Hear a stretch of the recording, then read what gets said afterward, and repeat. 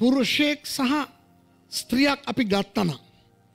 ඒ දෙන්න එකතු වෙලා තමා දරු සම්පත බිහිවෙන්නේ ඕනේ හැබැයි ඔය දෙන්න අයින් කවුරු ළඟද බීජය තියෙන්නේ. පිරිමි අයළඟන්නේ නේද. එතකොට ස්ත්‍රිය දෙස බලලා උඹේ බීජය කියලා දෙවියන් වහන්සේට කියන්න පුළුවන්ද බෑ. කියන්නේ බීජය ඒ කාන්තාවට ලැබෙන්ඩ ඕනේ පුරුෂයෙක්ගේ. ඊට පස්සේ තමයි යාට දරුවෙක් එයාගේ ගර්භාෂය කලලයක් හැටියට නිර්මාණය වෙන්නේ. හැබැයි මෙතන ස්ත්‍රියගේ බීජය කියලා කියනකොට එතන අනාවැකියක් අපිට පේෙන් නැද්ද. මොකක්ද. මේ ලෝක ඉතිහාසේ පුරුෂයෙක් නොමැතිව එකම එක කාන්තාවක් තමයි දරුවෙක් බිහි කරේ අන්න එයා තමා මරියතුමි. ඒ දරුවා තමා ඒසුස් වහන්සේ. ආමෙන් ඒ කියන්නේ මෙතනම දෙවියන් වහන්සේ දුන්නගේම.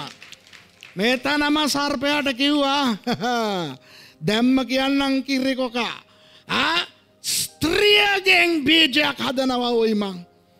බැරි වැඩේ කරන එක්කෙන තම අපේ දෙවියන් වහන්සාමෙන් පුළුවන්දේ ඕනෙකට කරන්න පුළුවන් බැර්රීදේ කරන එක්කෙන තම අපේ දෙවියන් වහන්සේ.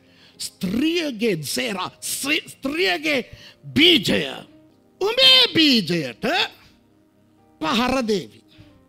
උඹේ හිස පොඩි කරයි.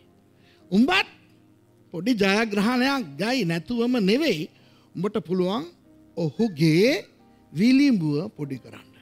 තැන් ඕක සිදු වනාද නැද්ද ඉතිහාසේ. මොනවද වනේ අවුරුදු දෙදහසකට කලින් අපේ ඒසුස් වහන්සේ කුරුසිපත් වෙනකොට ඒ කුරුසිපත් කිරීම යක්ෂයා හිතුවා උදින්නා කියලා. ඔන්න ඒසුස් වහන්සව මැරුවා. ඒසුස් වහන්සේ මොනවත් ආය කරන්න බෑ කියලා ඌ හිතුවා.